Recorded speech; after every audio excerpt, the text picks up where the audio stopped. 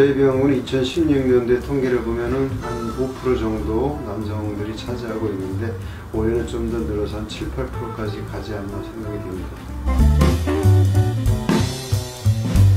남성들의 대부분은 이제 젊은 사람, 젊은 층 20, 30대에서 차지하고 그 다음에 꽃중년을 꿈꾸는 40, 50대 분들도 간혹 있습니다. 젊은 사람들은 와서 자기 외모를 좀 더 부각시키려고 하는 노력들을 하는 것 같아요. 이 이목구비를 뚜렷하게 하는 시술 같은 쪽으로다가 관심이 있는 것 같죠. 그래서 이마, 코, 턱, 윤곽 정도 말씀드릴 수가 있고요. 40, 50대 그 위에 넘어가면은 이제 팔자주름이라든가 리프팅 쪽, 탄력 쪽으로다가 시술을 받는 것으로 나타나고 있습니다. 그러니까 40, 50대에서 나타날 수 있는 주름은 이제 이마주름, 그 다음에 잘 웃음으로 생기는 눈가주름이라든가, 그 다음에 팔자주름, 그리고 좀한 60, 70대 가면 이제 목주름이 많이 생기죠. 네, 그런 것들을 좀 펴주면 좀 젊게 할 수가 있으니까 그런 시술이 늘어나고 있습니다.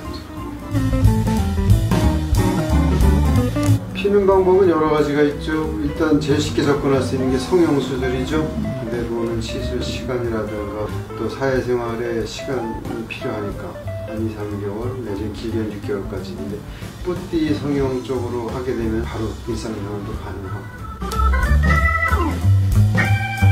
필러는 여기 채워 꺼진 데를 채워주는 거죠 이렇게 꺼진 데를 채워주는 그게 필러죠. 보톡스는 이제 근육을 마비시켜갖고 찡그리는 표정 근육을 못 움직이게 해서 주름을 피는 게 이제 보톡스고.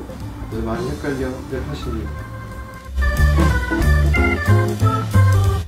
맞습니다. 그게 시술에서 가장 음, 부작용 특히 이마 같은 경우 하게 되면 눈이 처지거나 눈꼬리가 돼서 올라간다든가 그러니까 너무 작용이 과하게 나타나는 부작용이거든요 그걸 잘 조절을 해서 너무 욕심내지 마시고 적당하게 부자연스럽지 않게 그런 시술을 원하시고 또 받으셔야 될 거라고 생각합니다